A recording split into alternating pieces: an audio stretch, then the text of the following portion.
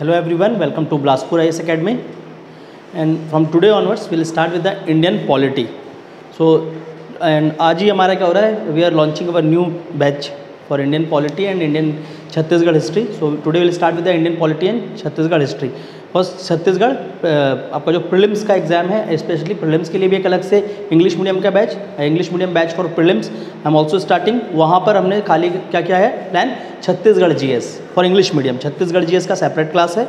And जो आपका long term batches चल रहे हैं सो लॉन्ग टर्म्स के लिए जो प्रोग्राम्स हैं, उस पर हम आज से स्टार्ट कर रहे हैं with Indian polity and Chhattisgarh history clear so जिनको भी रजिस्टर करना होगा, क्योंकि आज से ही लेक्चर और आज से हमारा ये प्रोग्राम चालू हो रहा है।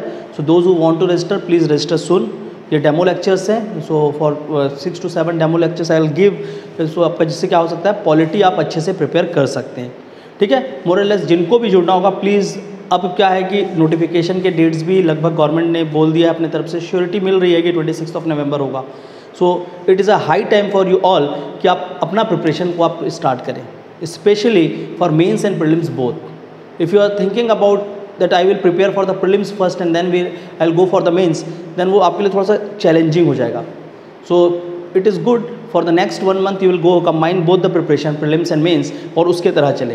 एंड मोर ओलेस आप देखते हैं छत्तीसगढ़ पीएससी का सिलेबस तो 70 percent syllabus are same so if you are preparing for the prelims early for the next three two four months तो आप ये कर सकते हैं कि क्या करना है? Prepare the holistic way holistic approach में आपको क्या करना चाहिए? जितने भी प्रिलिम्स के सब्जेक्ट उसको प्रिपेयर करिए so that you can get the benefit out of this preparation in the mains as well okay so ये लेक्चर्स कुछ उस तरह से ही प्लान किए जाते हैं, जिससे आपको दोनों एग्ज़ाम पे बेनिफिट हो और दोनों के लिए आप लेकर चल सकें। ठीक है?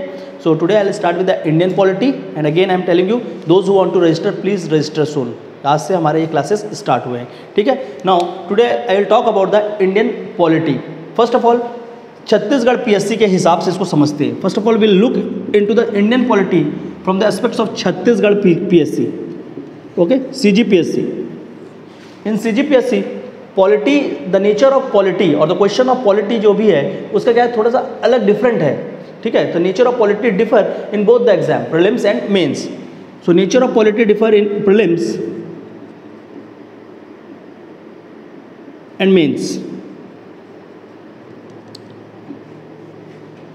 if you look into the prelims part in prelims from indian polity last year from indian polity and the administration of chhattisgarh more or less अब Indian polity I cover with the administration of Chhattisgarh as well ठीक है उसके last में हम करेंगे so prelims if you talk about the prelims और Indian polity का जो प्रिलिम्स वाला पार्ट है so here 12 to 14 questions 12 to 14 question last year including the chhattisgarh administration and panchayati raj part there are 14 questions so 12 to 14 question in prelims comes from the prelim uh, sorry from only your indian polity so indian polity in prelims become a game changer once you see the indian part because india में आपके कितने question आते हैं in indian part you will get around the 50 questions and out of those 50 question 12 to 14 question from polity section only so एक इसलिए मैं बोल रहा हूँ, इसका नेचर बहुत ज़्यादा वेरी कर रहा है। For prelims 12 to 14 question out of the 50 question of Indian section but in mains means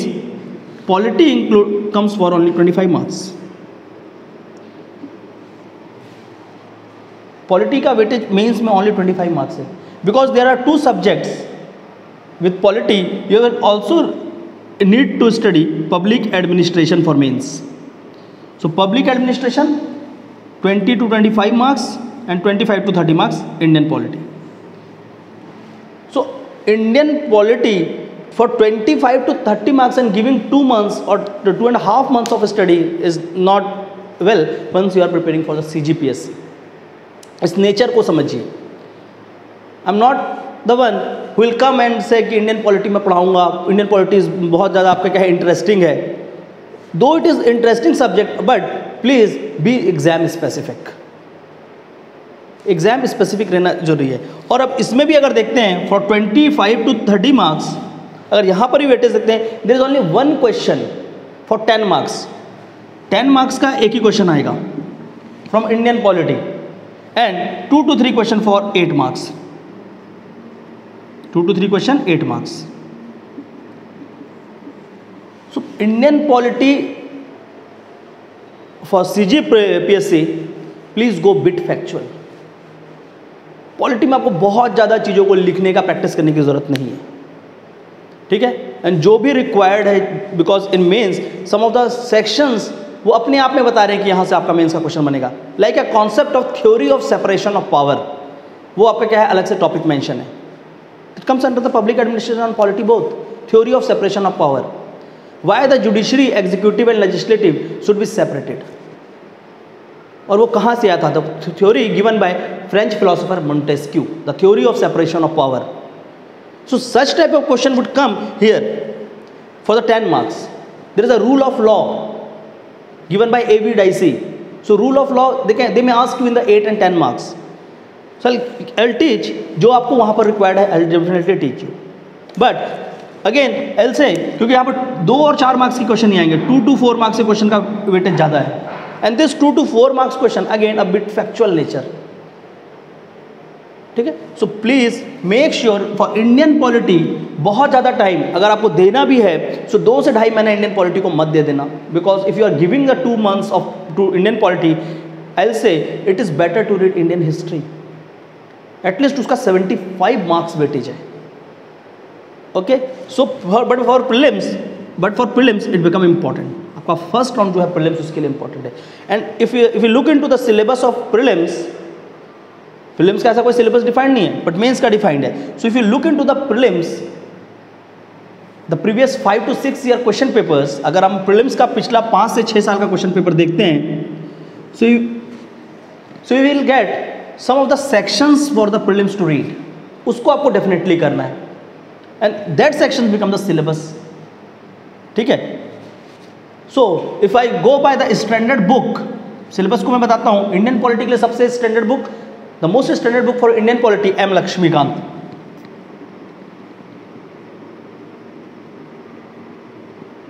don't go with other books एक बुक है सफिशियंट है, सब कुछ है उसमें.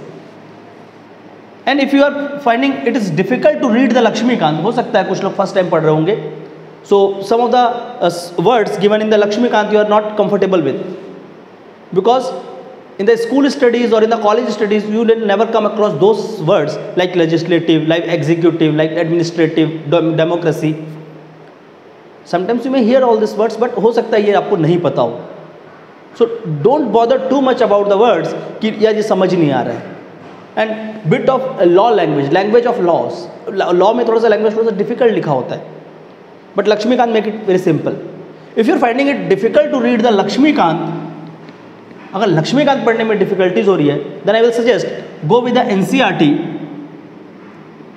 N C R T class ninth and tenth finish it first छोटी सी book है. उसके बाद स्टार्ट लक्ष्मीकांत जब आप इस बुक को एक बार कवर कर लेते हैं, उसके बाद आप लक्ष्मीकांत में आते हैं देन आपको पॉलिटी में कोई भी प्रॉब्लम नहीं आएगा. इलेवन, ट्वेल्थ वाले में मत जाना नाइन्थ एंड टेंथ पढ़ना। इससे क्या होगा, आपको बेसिक वर्ड्स के नॉलेज टर्मिनोलॉजीज आ जाएँगे and then you can read the Laxmikanth as ठीक है? इफ़ डायरेक्टली लक्ष्मीकांत पढ़ने में प्रॉब्लम है so first finish N class ninth and tenth then go go with the Laxmikanth clear ये तो बुक की बात हुई। Now talking about the prelims and mains prelims and mains for Indian polity in CGPSC. So, prelim section will mostly, अगर ये जो questions और ये जो दिख रहा है आपको for the last five to six year so there are some favourite topics favourite topics include basics of constitution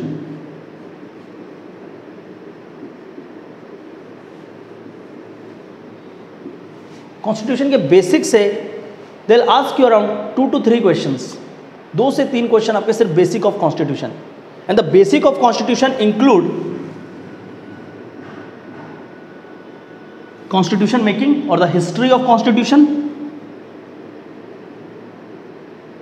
किस तरह से कॉन्स्टिट्यूशन बना था?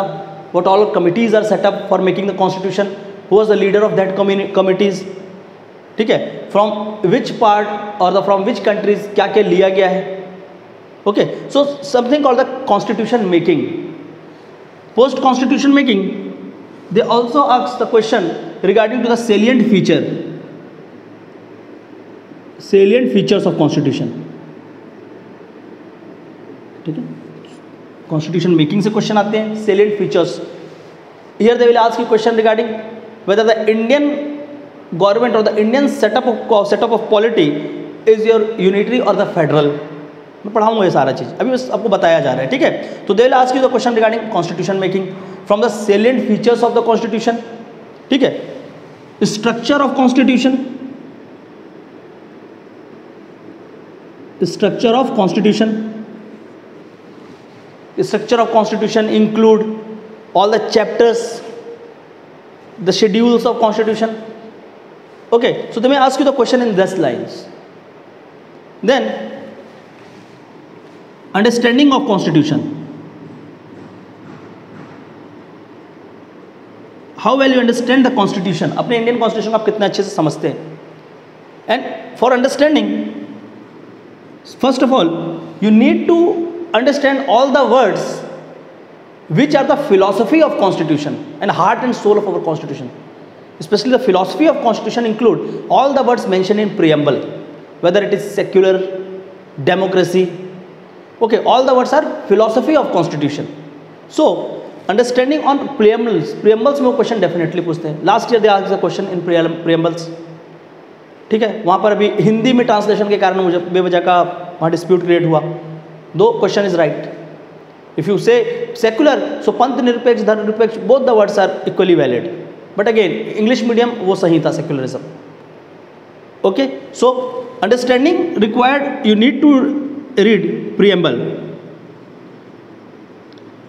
preamble of constitution then the question from fundamental rights fundamental rights. I'm just mentioning the syllabus first. Clear? Then DPSP. These are the directive, directive principle of state policies. These are the direction given by constitution to the state government or the government of India. Here the state means not only the state government. The complete definition of state is given in Article 12 and in, in from the constitution point of view state just not only the, only uh, include the state government but it also include the union government it also include private agencies which works as an agent of union government according to article 12 मैं पढ़ाऊंगा वो चीज़ आपको ठीक है but अभी समझना है so preamble fundamental right fundamental duties fundamental duties these are the duties assigned to the citizen by constitution but there are non binding ये सारे वर्ड्स क्या क्या है एक्सप्लेन ठीक है? So preamble fundamental right DPSP fundamental duties structure salient feature and constitution making then one more thing called basic structure of constitution ठीक है? So structure of constitution here basic structure elements then there is a constitution amendment ये constitution amendment become the most favourite topic of Chhattisgarh PSC clear so ये जो सारा का सारा basics of constitution the understanding of constitution और अगर इसको अच्छे से आप करते हैं then definitely will solve all the questions related to constitution इसके बाद के जो टॉपिक्स हमको पढ़ने होते हैं दोज आर मोर और less link to some of the specific agencies और द बॉडीज और द एनी पर्सनैलिटीज किसी बॉडीज से रिलेटेड है बाकी कॉन्स्टिट्यूशन बट ये है आपका कॉन्स्टिट्यूशन क्या है? Under fundamental rights there is a article 32 और ये सारा चीज़ें हैं। So there we'll talk about the judicial review from 1332 and to 26. There's a concept of judicial activism, public interest litigation, PIL. ठीक है तो ये सारा आपका मेंस में दिया हुआ है but again for prelims I will say कि ये थोड़ा सा हम देखते हुए चलेंगे ठीक है then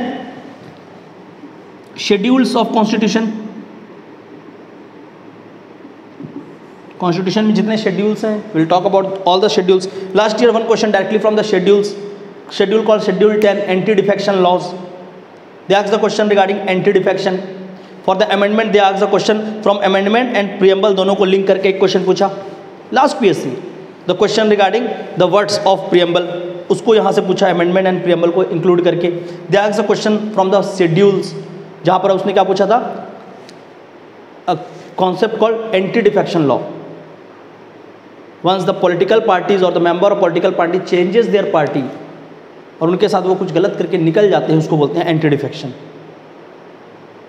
मैंशन इन आपका schedule ten and article hundred and two from fifty second constitution amendment act so आपको ये चीज़ को समझना पड़ेगा कि क्वेश्चन का नेचर कहाँ पे वो लेकर जा रहे हैं और किस तरह से उसको पूछा जा रहा है। So from basics of constitution if you are good with the basic of constitution you will definitely able to solve three to four question out of those fourteen question और the twelve question three to four question directly come from this section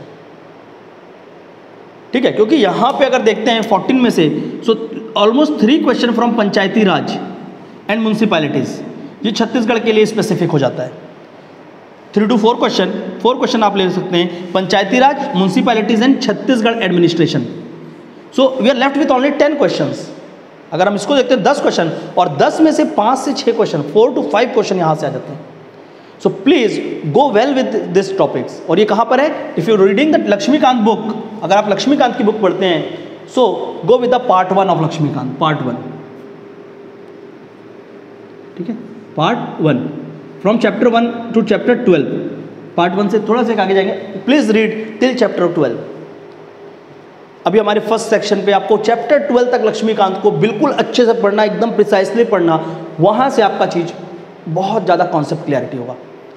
और उसके बाद के chapter अगर लक्ष्मीकांत नहीं भी पढ़ते class notes भी अगर आप पढ़ते हैं तो भी आपको उसमें जितना इन्फॉर्मेशन रिकॉर्डिंग मिल जाएगा। क्यों? उसके बाद मोर लेस क्या होगा? आर्टिकल में जो प्रोविजंस हैं क्योंकि देखो यहाँ तक आपका इस, इसके बारे में इसके बाद क्या स्टार्ट हो जाता है?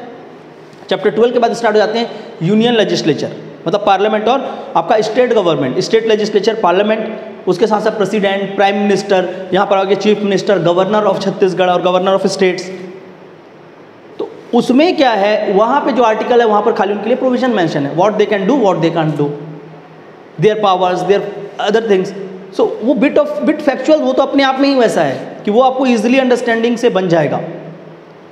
एल टीच उसमें आपको डिफिकल्टी नहीं जाएगा। बट ये वाला जो पार्ट है, यहाँ पे वो क्वेश्चन को घुमा सकते हैं। और C G P S C believe me the best question अगर C G P S C के जो बेस्ट क्वेश्चन होते हैं, वो आते हैं इंडियन पॉलिटी से। A good amount of question अब बिल्कुल वहाँ पर थोड़ा सा आपको कॉन्सेप्ट क्लियरिटी चाहिए होते हैं। So you need the conceptual clarity for the films as well and उसके साथ साथ आपको क्या करना है maintain you have to maintain the factual knowledge ठीक है? तो अ बिट ऑफ़ क्योंकि यहाँ पे आपको मेंस पे बहुत ज़्यादा इंडियन पॉलिटी का वेटेज नहीं है बट स्टिल अगर मेंस का भी सिलेबस आप उठा लेते हैं and you are good with this twelve topics आपका यहाँ पर से जो 25 मार्क्स का रहा है 15 मार्क्स से ऊपर का प्रिपरेशन हो जाता है। और दो तीन क्वेश्चन तुम्हारा टॉपिक मैंशन उसी से पूछ लेते हैं। ठीक है तो हमको एग्ज़ाम के लिए पढ़ना है, और एग्ज़ाम को निकाल कर जाना है। बेवजह का पॉलिटी पढ़ाए जा रहे हैं पढ़ाए जा रहे हैं दो महीने, ढाई महीने। उतना रिक्वायर्ड नहीं है सीजीपीएससी में।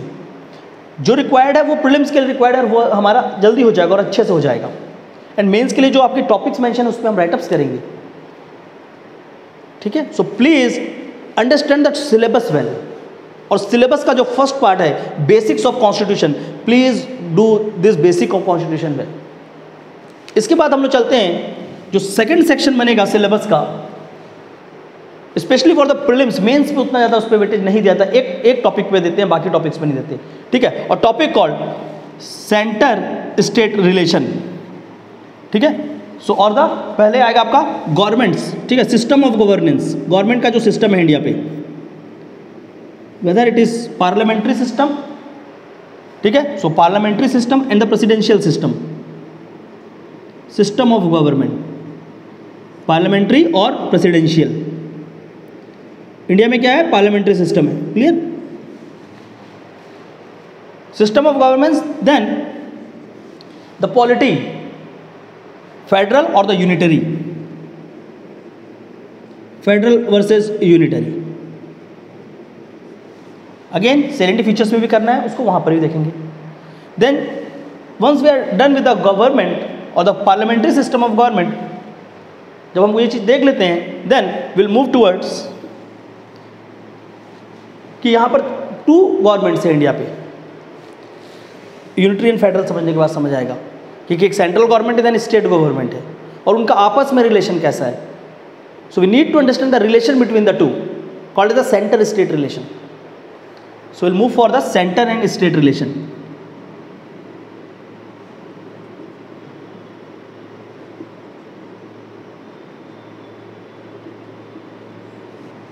then relation between the states, called as the inter-state relation.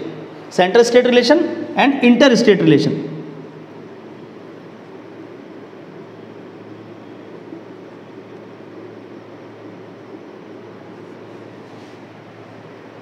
Clear ये कुछ स्पेसिफिकली मेंशन टॉपिक्स हैं आपके मेंस के सिलेबस के ऊपर।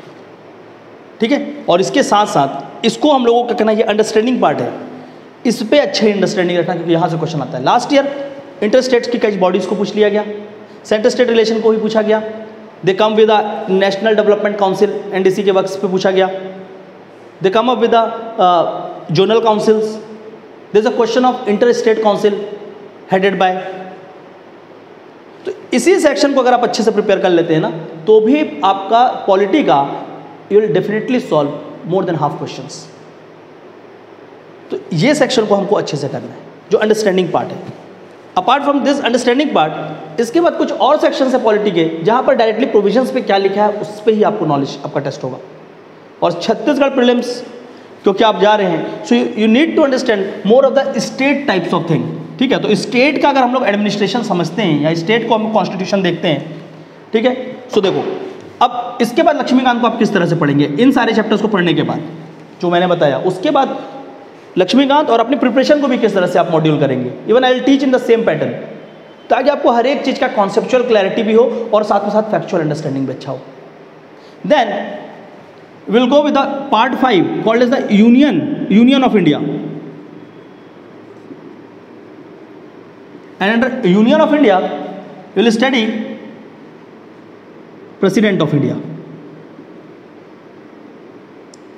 clear similarly अगर दूसरा फ्रंट देखेंगे part six of the constitution states के लिए। Clear so once you are done with the president chapter compare him with the governor of state ठीक है? सो एवरी अल्टरनेट ईयर एक क्वेश्चन या तो यहाँ से आता है, या तो यहाँ से आता है। And in C G P S C please इनको बहुत अच्छे से पढ़ना। The governors because state administration में वो सबसे हेड है। If you talking about the head of state administration it is governor the constitutional head of state the constitutional head of state constitutional head of state is governor and the constitutional head of और the constitution head constitution head the constitution head is president ठीक है? President then the two bodies call Lok Sabha and Rajya Sabha Lok Sabha Rajya Sabha ठीक है this three together president plus Lok Sabha plus Rajya Sabha this three in totality और together called is the parliament of India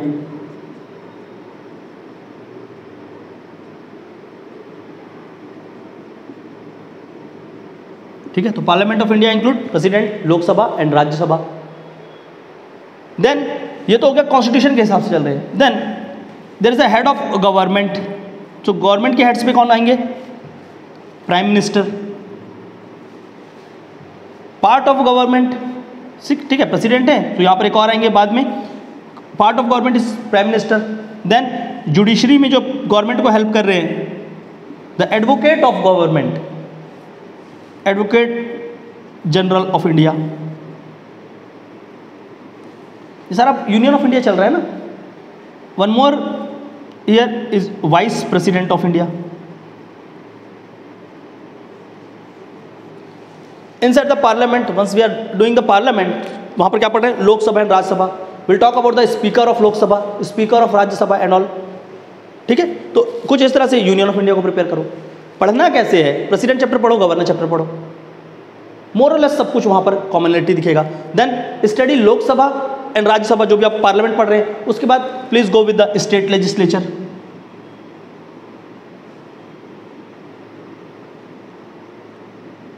you will get the knowledge regarding बहुत सारी चीज़ों के बारे में आपको नॉलेज यहाँ पर मिलेगा। स्टेट एडमिनिस्ट्रेशन कैसे चलती है। ठीक है? पहले हमने बेसिक्स में क्या देख लिया? कॉन्स्टिट्यूशन के बेसिक्स में। कॉन्स्टिट्यूशन अमेंडमेंट के बारे में बात भी की है तो वहाँ पर इमरजेंसी प्रोविज़न वो यहाँ पर फिर से देखेंगे इमरजेंसी प्रोविज़न ठीक है? सो कुछ इस तरह से पढ़ना होता है। ठीक है? यहाँ पर आपने पीएम पढ़ा, तुरंत जाके आप सीएम पढ़ लो। मोर और लेस आप देखोगे कि चीज़ें सेम चल रही हैं। And I will give some of the tricks to remember the articles as well कि आपको सारे के सारे आर्टिकल भी याद हो जाएँगे। क्योंकि सी में आर्टिकल्स पूछते हैं। और आर्टिकल्स इनके कम पूछे जाते हैं। आर्टिकल किसके ज़्यादा पूछते हैं? Constitutional and non constitutional bodies के पूछे जाते हैं। अभी वो भी बताते हैं। ठीक है? फिर यहाँ पर क्या होगा? Advocate general of India solicitor general of state ठीक है? देन वाइस प्रेसिडेंट स्टेट पे नहीं हो रही तो आपने vice governor no body nothing call the vice governor ठीक है? इसके बाद जुडिशरी में supreme court supreme court of India in state will talk about the high court of India and then subordinate courts state में हम लोग high court देखेंगे then will talk about the subordinate courts tribunals. ये भी syllabus का part है। ठीक है? लोक अदालत। क्लियर? तो कुछ इस तरह से इस फ्रेमिंग को करना है। अगर वो जो शुरू का मैंने बताया, इतना। इतने से ही सीजीपीएससी के क्वेश्चन बनते हैं। And then some of the articles they may ask you with regarding the constitutional and non constitutional bodies so again will talk about the bodies ठीक है? So some are called as the constitutional bodies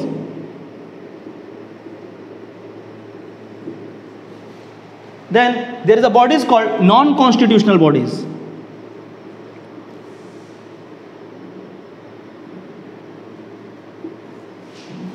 so those bodies of government or the those bodies which are inscribed in the constitution constitution में जिसके लिए article दिया गया है उसको क्या बोल रहे हैं constitution body and those bodies which are created through some other laws, especially the statutory laws, a laws made or the statute, किसी और एजेंसीज ने बनाया, कोई एक ऐसा एक्ट बना है, जिस एक्ट के कारण वो बॉडी आई है, उसको बोलते हैं नॉन कॉन्स्टिट्यूशनल बॉडी और द स्टेट्यूट बॉडी ठीक है? So non constitutional body and then we have the statutory body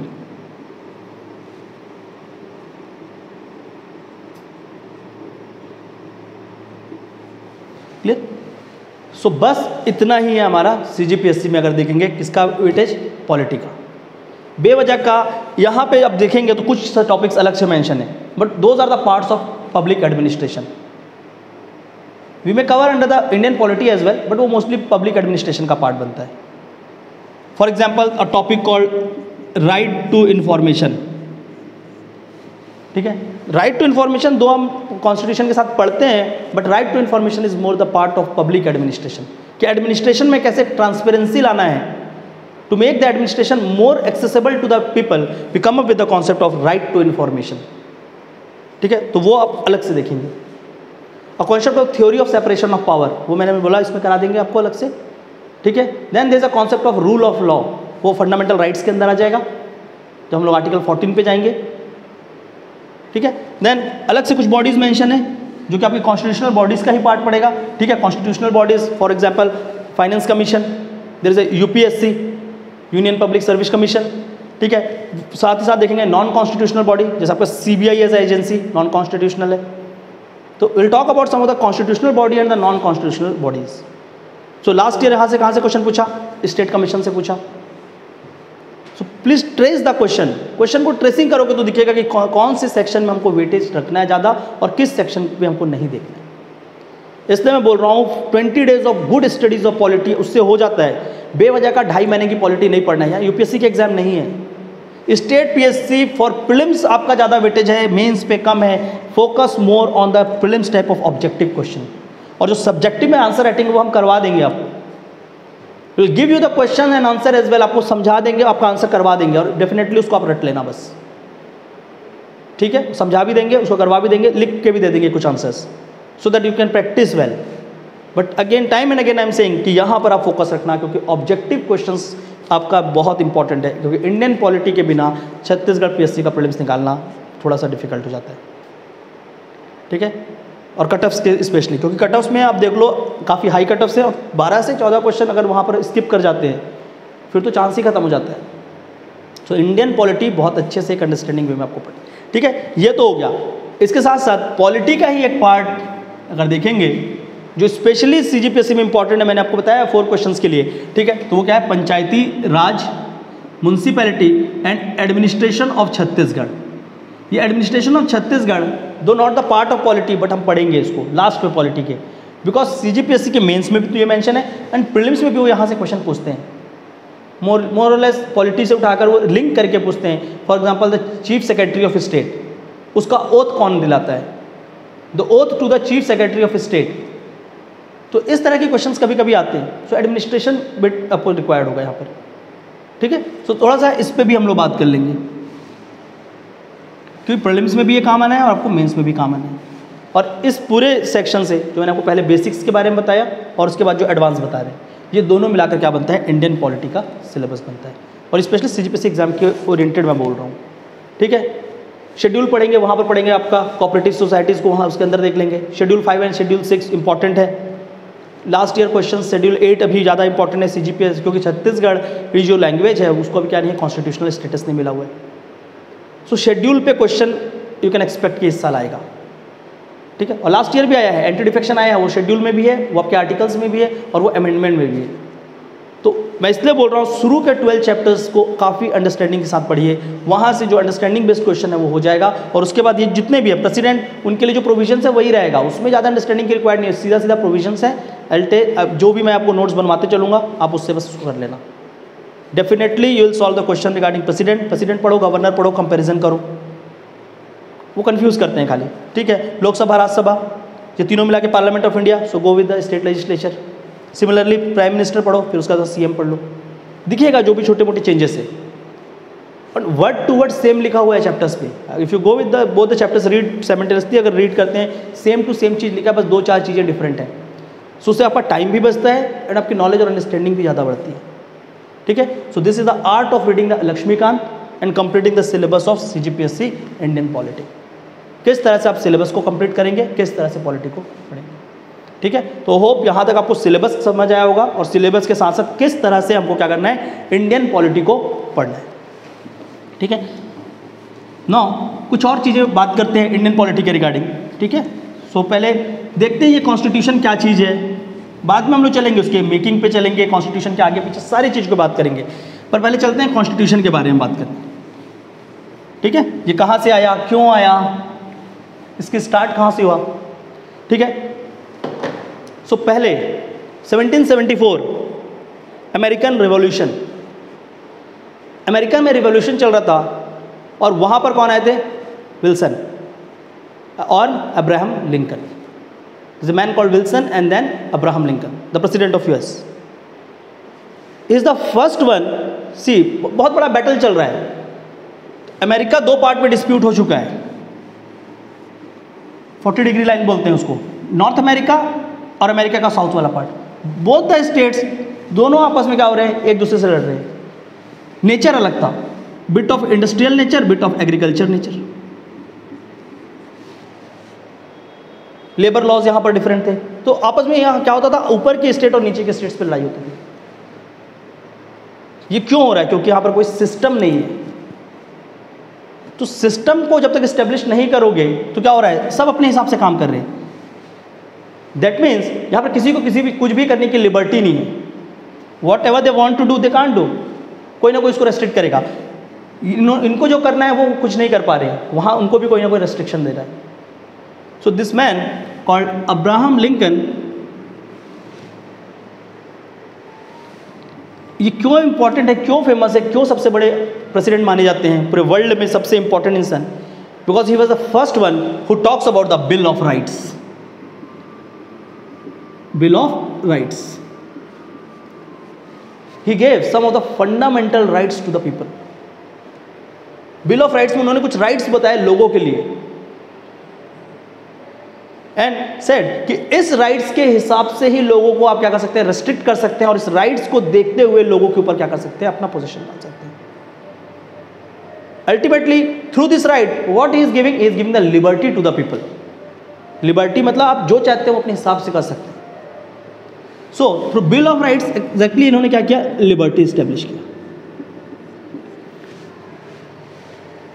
पहले क्या था? यहाँ अपने मन से कुछ भी कर रहे हैं but at least now we have some of the rules और वो लोगों को कुछ राइट्स दिया गया कि उनका एक्सप्लोटेशन कोई नहीं कर सकता।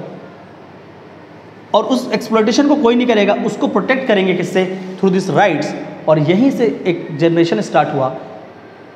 सिस्टम कॉल्ड द कॉन्स्टिट्यूशंस कि कोई भी लॉज को पहले हम कोडिफाई करेंगे और उसके थ्रू हम सारे की सारी चीज़ों को रूल्स करेंगे। और भी रेवोल्यूशन में मिलेगा आपको इसका example French revolution was there अलग अलग बट ये बहुत बड़ा एक क्या था? एक बैकग्राउंड था इंडियन आपके क्या इंडियन पॉलिटी नहीं एज सच पॉलिटिकल डेवलपमेंट और कॉन्स्टिट्यूशनल डेवलपमेंट में। एक बहुत बड़ा पॉइंट था जब अब्राहम लिंकन ने बिल ऑफ़ राइट्स की बात की। लेटर अब ये राइट्स हुआ, सब कुछ हुआ। So now they come with the concept called something called law कि लॉ क्या होता है? ठीक है? राइट्स है राइट्स को कहीं तो लिख रहे हैं। ये तो उसका लोगों को राइट्स दिया गया कि आप कुछ कर सकते हैं, कुछ नहीं कर सकते। बट इस राइट्स को कहीं ना कहीं कोडिफाई करोगे। Once this rights are codified it is called is law not only the rights इसके साथ साथ कुछ रूल्स भी हैं। ठीक है? सो लॉ क्या है? Law is rules law is a rule which are codified and through that rule only the state or the government is ruled by the authorities. So, a set of rules are called as laws. ठीक है rules are rules और protocols मतलब कुछ उसको set of rules लिखते हैं। Laws are set of rules ठीक है तो सेट ऑफ़ रूल्स है कि इस रूल्स के थ्रू ही हम क्या करेंगे? सारे के सारे चीज़ों को कंट्रोल करेंगे सारे चीज़ों पे हम लोग क्या करेंगे? अपना वर्क करेंगे। Then somebody will say why we need the law हमको लॉ क्यों चाहिए? हो सकता है बिना लॉ के भी हम कर सकते हैं। बट मोर लेस आप कुछ भी जब डिसीज़न लेंगे तो आप कुछ ना कुछ रूल्स बनाएँगे। That ultimately become the laws clear तो इस लॉ को समझने के लिए why law is needed see ये क्या है? एक स्टेट है। छोटा सा गाँव है, कुछ भी है, यहाँ पर बहुत सारे लोग रहते हैं। ठीक है? और अब यहाँ क्या नहीं है? लॉ नहीं है। यहाँ पर कोई भी लॉ नहीं है, कुछ नहीं है। क्लियर नाउ यहाँ पर एक टैंक है।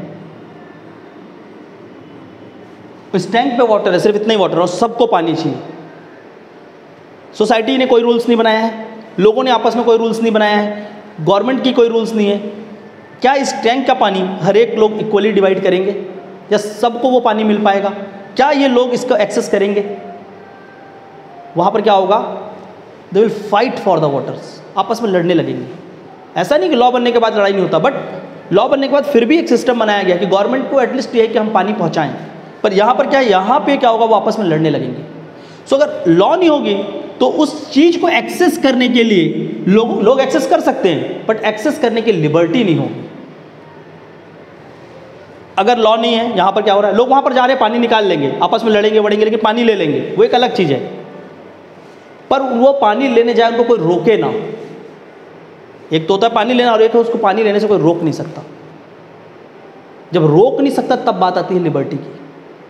कि उसका अधिकार है कि वो वहाँ से क्या कर सकता है, पानी ले सकता है। ठीक है? तो अगर लॉ नहीं होगा तो वो, उसको राइट्स नहीं है, उसको वो अधिकार नहीं है। पर वो अपने मन से जाके कर सकता है, बिना लॉ के भी। फिर वहाँ पर क्या होगा? पावर है। आपके पास जाके आप कर लो।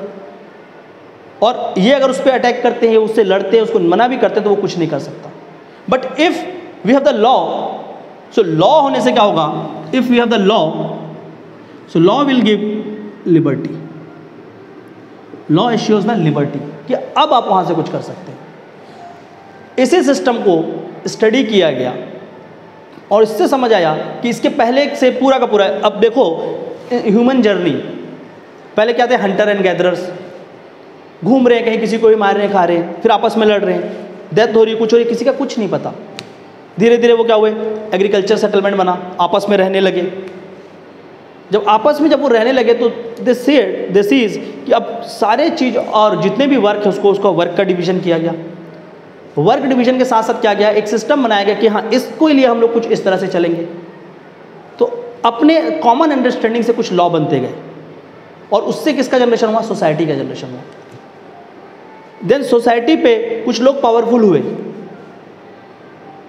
और उनको क्या बोला गया? उनका किंग बोला गया, या सरदार बने। अब वो रूल कर रहे हैं। अब एक आदमी सरदार बन गया, वो रूल कर रहा है तो लोगों को घर घर जाके तो बोलेगा नहीं कि तुम ये करो, तुम ये करो।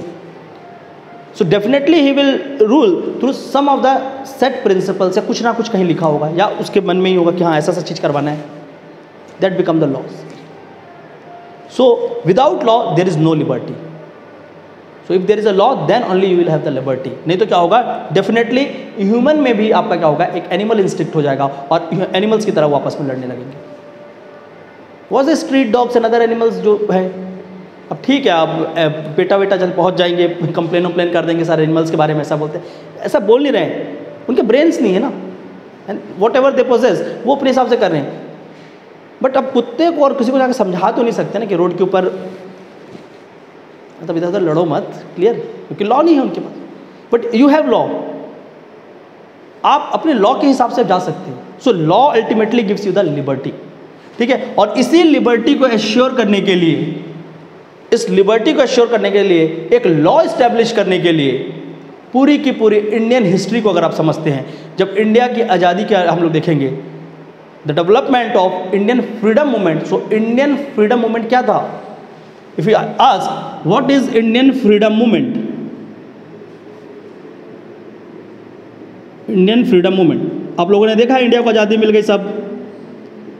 अभी हमने पढ़ा नहीं है बट आप लोगों को तो पता है ना इंडिया आज़ाद हुआ था 1947 में। क्या है इंडियन फ्रीडम मूवमेंट आप नॉर्मल लाइफ जी रहे थे, सब कुछ अच्छा चल रहा था। कोई आपके ऊपर आया और आपके राइट्स को और आपके लॉज को क्या किया उसने? अपने हिसाब से कंट्रोल करना चाहा। और जब ये चीज़ हुआ सो अल्टीमेटली आपको क्या हो रहा था? लॉ के थ्रू रूल किया जा रहा था। You are ruled by law ruled by law freedom movement से पहले।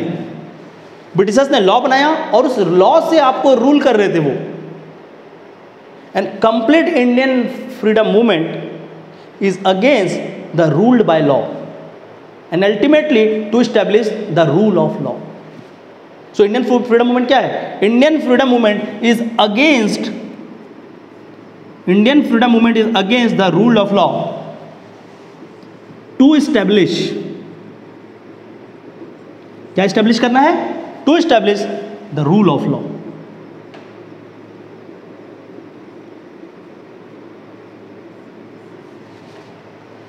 ठीक है? आप हमको किसी लॉ से रूल ना करो, पर लॉ हम सबको रूल करें। ठीक है? रूल्ड बाय लॉ मतलब आपके हर एक चीज़ को रेस्ट्रिक्ट करने के लिए एक नए नए लॉ बनाए जा रहे हैं। 2014 के बाद हो रहा है ना बहुत सारा। कभी एनआरसी आता है, कभी कुछ आता है। सो रूल्ड बाय लॉ है। Rule of law that is there is some defined principles there some set of rules जिसके थ्रू हम चल रहे हैं और उस रूल को एटलीस्ट बने रहने दो। और इसी की तो पूरी लड़ाई थी इंडियन फ्रीडम मूवमेंट और इसी में क्या हुआ? They come up with different set of rules वो अपना चार्टर एक्ट लाते थे, फिर रेगुलेशन एक्ट लाए, फिर वो इंडियन काउंसिल एक्ट लाए। So they come up with the rules to control Indians and Indians ने बार बार क्या किया? इन सारे एक्ट्स में कहा, क्या कहा? हमको क्या करना है? रूल्स पे। बिकॉज़ आई वॉन्ट कि रूल ऑफ़ लॉ इस्टेब्लिश हो। इसलिए इंडियंस का हमेशा ये क्या था? कि हमको उसमें एक एक्सेस दो। और ये दोनों में आपस में लड़ाई होती रही और क्या हुआ? धीरे धीरे हमारे क्या हुआ? उसी से कॉन्स्टिट्यूशनल डेवलपमेंट बाहर आया। उन्होंने अलग अलग एक्ट्स दिए। इंडियंस ने अपनी बातों को रखा, वो इंडियंस की बातों को माने। वी रिवोल्टेड जब हमारी बातों को नहीं माना गया तो हमने क्या किया? रिवोल्ट किया फाइट किया। फिर उन्होंने हमारी एक बात को मानी, फिर वो उसने दूसरा एक्ट लाया, फिर हम रिवोल्ट कर रहे हैं। तो धीरे धीरे धीरे धीरे क्या हुआ? Ultimately the rule by rule of sorry आपका रूल्ड बाय लॉ जो उन लोगों ने स्टार्ट किया था, वो कन्वर्ट किस पे हुआ? रूल ऑफ़ लॉ पे कन्वर्ट हुआ with arrival of constitution of India on twenty of November 1949 clear तो ये धीरे धीरे एक प्रोसेस है जिसको हमको समझना है। ठीक है? एक जर्नी की तरह भी चल रहे हैं क्योंकि बैकग्राउंड समझो पहले। होते क्या है? सिमिलरली ये क्या है? लॉज ठीक है? तो इसी लॉ को आगे बढ़ाओ, क्योंकि हमको क्या करना है? रूल बाय लॉ और कौन सा लॉ हमको रूल करे? वो लॉ रूल करे जो क्या हो? फंडामेंटल लॉ हो। The fundamental law of land ठीक है? तो लॉ में आपका क्या है? The fundamental law of land fundamental और also called the supreme law of land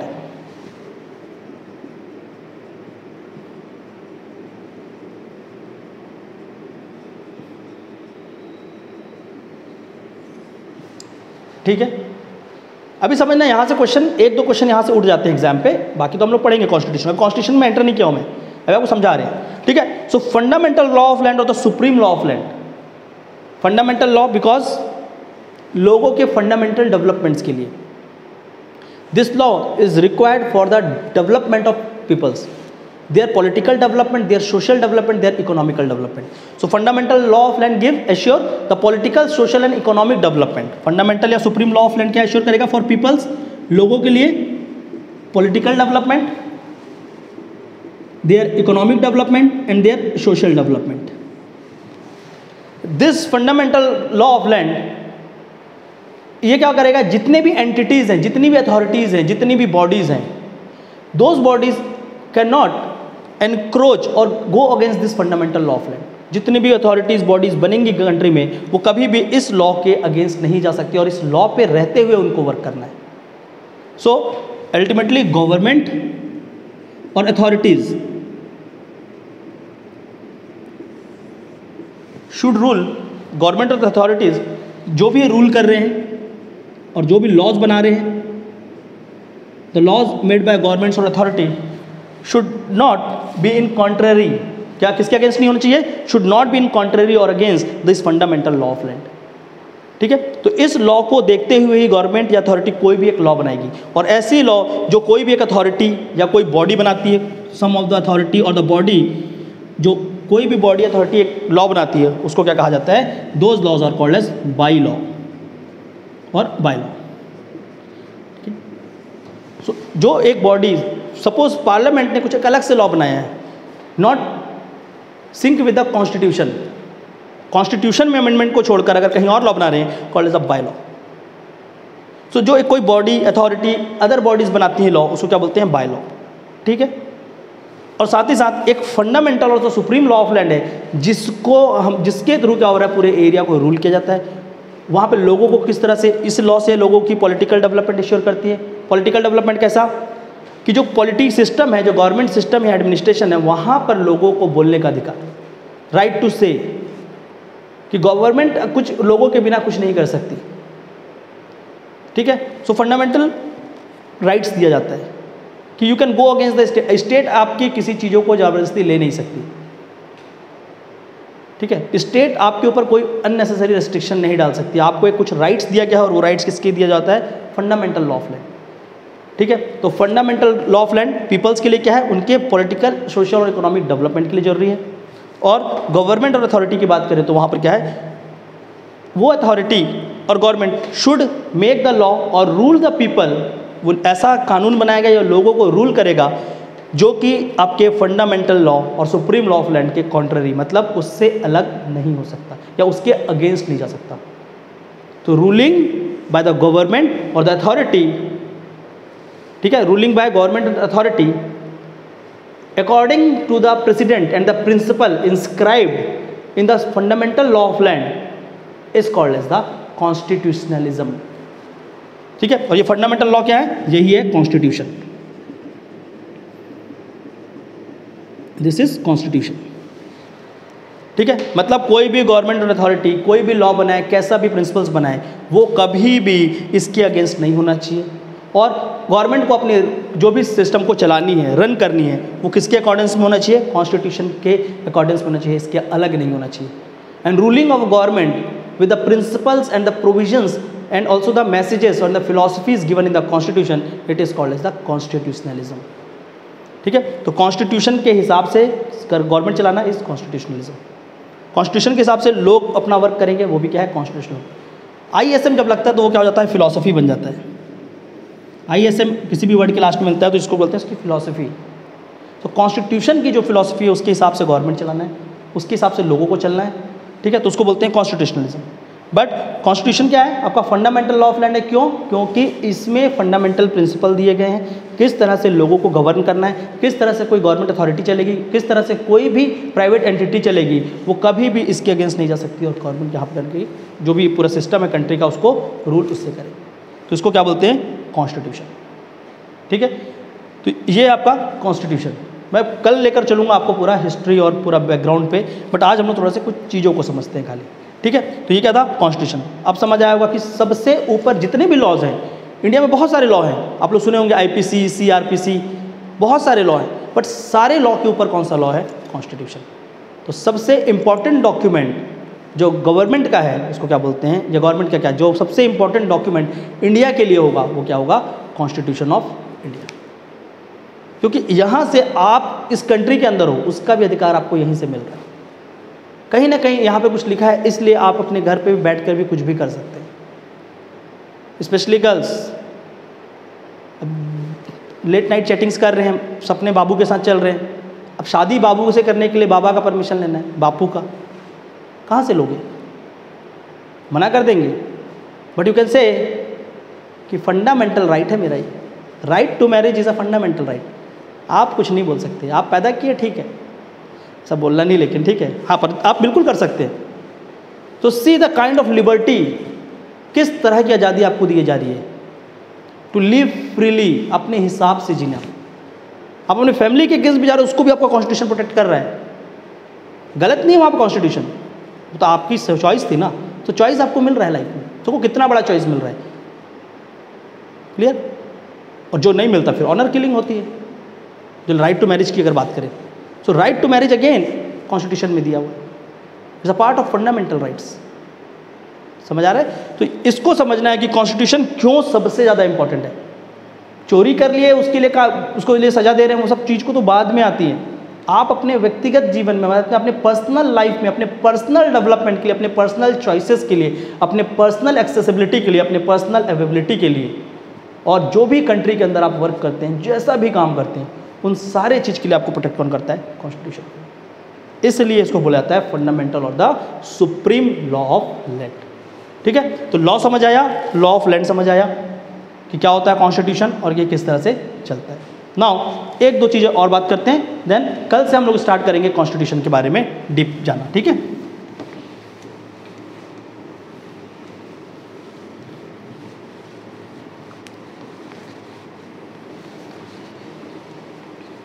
जो पढ़ाया है मैंने, वो ऐसे ही नहीं पढ़ा दिया। ठीक है प्लीज़ मेक श्योर उसको याद रखना। Now will talk about some of the rights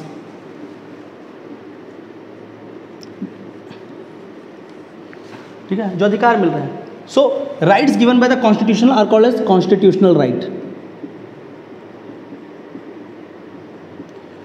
clear and the rights given by other laws और the statutes are called legal rights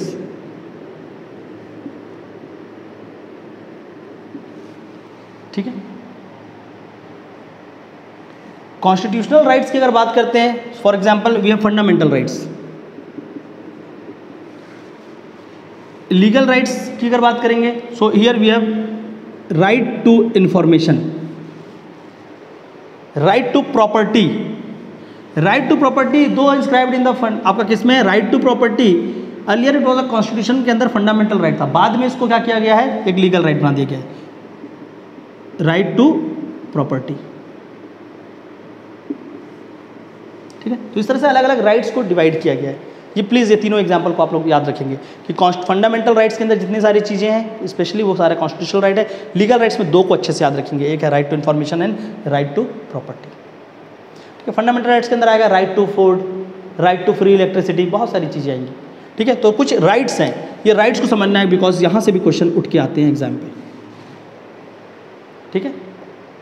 subject के साथ साथ चलेंगे तो मैं आपको सब चीज़ पढ़ाऊँगा बट अभी फ़िलहाल थोड़ी चीज़ों को समझना है। Rights given by the laws और द कॉन्स्टिट्यूशन तो आर कॉल्ड कॉन्स्टिट्यूशनल राइट्स और जो दूसरे लॉ से मिल रहा है उसको बोलते हैं हम लोग legal rights clear constitutional rights और स्पेशली द फंडामेंटल राइट इसलिए इंपॉर्टेंट हो जाता है, क्योंकि इसके लिए आप डायरेक्टली सुप्रीम कोर्ट को अप्रोच कर सकते हैं डायरेक्टली हाई कोर्ट्स पर अप्रोच कर सकते हैं but legal rights you should and step wise step उस पर काम होता है। एक लॉ बना है, उस लॉ के अगेंस्ट आप जाते हैं, तब जाते हैं। बट आपके पर्सनल के लिए आपका कॉन्स्टिट्यूशनल राइट इज़ इंपॉर्टेंट ठीक है? सो राइट्स इसके साथ साथ कुछ बेसिक टर्म्स हैं। इंडियन पॉलिटिक्स स्टार्ट करने से पहले आपको पता होना चाहिए।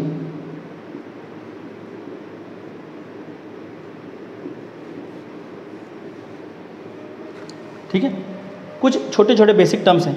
फॉर एग्ज़ाम्पल अगर देखो, पहले टाइम में क्या होता था? अर्लियर एक आदमी है, उसको बोलते हैं हम लोग किंग एक आदमी वो क्या है? राजा है. ठीक है? और इस राजा को this king has all the rights कैसा rights right called legislative right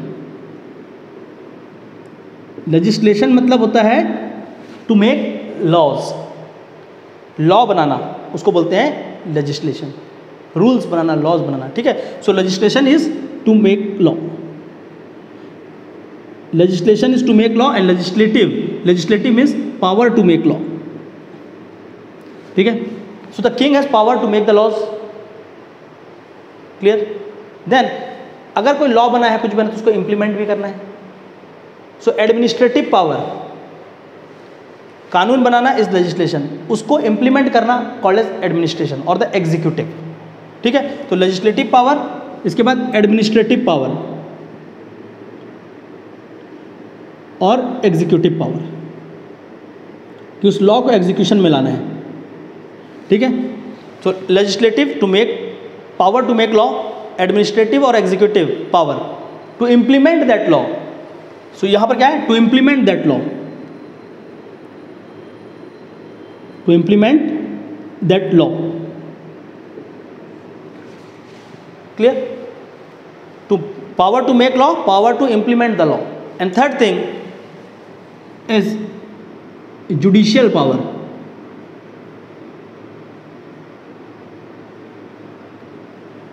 Judicial power that if somebody goes against the law or do the do the things which are against that law you will be able to punish them. If there is some authorities उन्हें अपना कुछ का law बना लिया है, जो कि आपके फंडामेंटल लॉ से अलग है। You can then review that law ठीक है? So there is a judiciary power और द जुडिशियल पावर ताकि क्या हो, ये लॉ जो है, इसको लोगों तक इम्प्लीमेंट किया जाए और अगर इस लॉ को कोई फॉल्ट कर रहा है, इस लॉ के कोई अगेंस्ट जा रहा है तो उस लॉ के एनक्रोचमेंट को और उसके अगेंस्ट जो जा रहे हैं, उनको पनिश किया जा सके, उसको बचाया जा सके। To protect the law to protect the law ठीक है? तो ये क्या था?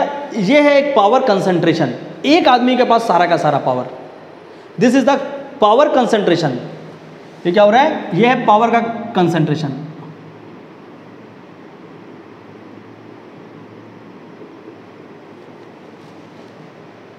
इसको ही बोलते हैं अथॉरिटेटिव भी बोल सकते हैं। अगर ये क्या करेगा? किंग्स अपने हिसाब से ही सब कुछ कर रहा है और लोगों के बारे में सोचने है तो उसको अथॉरिटेटिव भी बोलते हैं। अथॉरिटेटिव वे ऑफ़ गवर्निंग मैं पढ़ाऊँगा सारा। ठीक है? ये क्या है? पावर कंसेंट्रेशन जहाँ पर किंग के पास सारा पावर है। दिस कॉन्सेप्ट ये जो चीज़ है, इसको क्या बोलते हैं? Rex lex king is law concept of king is law और इस तरह से क्या हो सकता है? किंग्स अपने सब्जेक्ट को, जो लोग हैं, जो उसके लोग हैं, जिसको वो रूल करता है, उनके अगेंस्ट जा सकता है। So seeing this during the French revolution और फ्रेंच में, ये जो पावर कंसंट्रेशन था, इसको देखते हुए a man come called Montesquieu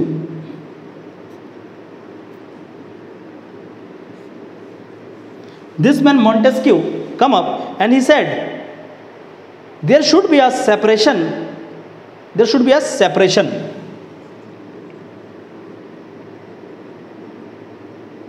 of powers इन्होंने कहा? There should be separation of power separation of power between legislative जो लॉ बनाते हैं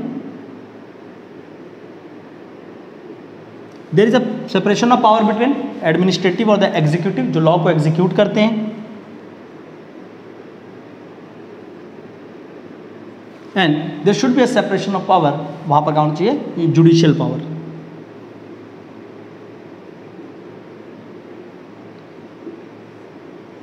तो मोन्टेस्क्यू आके क्या बोल रहे हैं? सेपरेशन इन पावर का क्या होना चाहिए आपस में? सेपरेशन होना चाहिए। सो लेजिस्लेटिव अपने डोमेन में काम करें एग्जीक्यूटिव अपने डोमेन पे काम करें और जुडिशरी अपने डोमेन पे काम करें। तीनों अलग अलग डोमेन पे काम करें। एक आदमी पे सारा पावर ना हो और दूसरी बात कि आपका legislative should not encroach upon the work of executive executive should not encroach upon the work of judiciary तीनों अलग अलग डोमेन में होना चाहिए। एंड ये तीनों अलग में कैसे होना चाहिए? There should be a water tight separation मतलब बिल्कुल अलग होना चाहिए। ये आपस में कभी साथ नहीं आनी चाहिए। So there should be a water tight separation separation of power इस तरह से and it this separation should be a water tight separation